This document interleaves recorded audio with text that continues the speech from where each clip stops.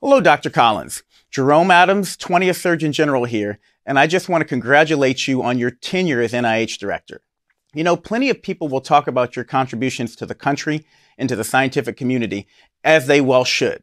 But I want to spend my time talking about what you meant to me as a as an individual. I can't think of a single time when I met you when you didn't have a smile on your face, when you didn't warmly greet me, and uh, when you didn't invite me and my wife to come to your home and have a meal with you and Diane. I feel like every time I saw you, you said, Hey, come on over for dinner. Come on over and hang out with us. And I want to tell you how much that meant to me, especially in the midst of an incredibly divisive environment.